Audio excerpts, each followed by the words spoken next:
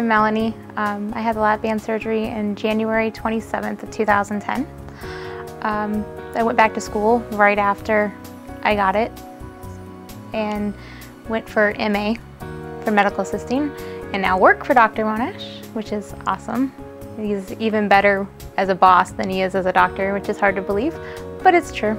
I've lost 120 pounds total right now and I'm still working strong, going hard for more. I have three kids, two, uh, three, five, and seven now, and I can do so much more with them now. Uh, before I was, was pretty bad and just kind of lay there all the time. But now I get up and I run through the house with them and run outside with them and it's really amazing. It's totally changed my life, every aspect of it. I wouldn't have went back to school. I wouldn't have, I would have still stayed at home. I would have done pretty much nothing. And now I have a great career for an awesome doctor and love everything about my life now. if you're thinking about this, it's, it's a huge life change. It's amazing.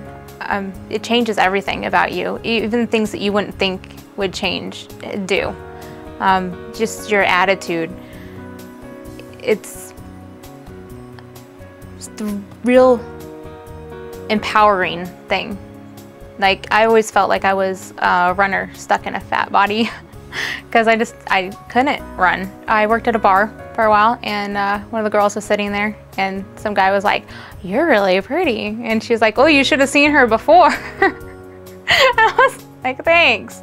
And it was pretty funny because she was like, she was huge. She was like 300 pounds, which I was, but I didn't feel that it needed to be said in front of everybody in the bar, but it was.